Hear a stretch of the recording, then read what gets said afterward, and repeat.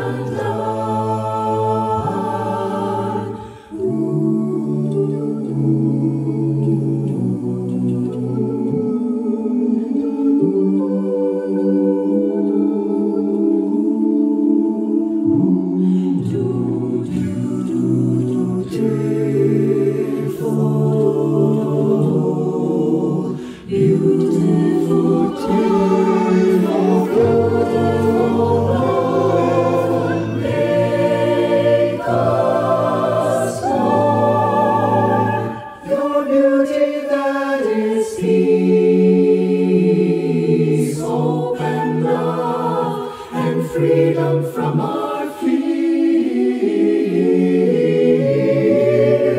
Your spirit we take in our breath to fill.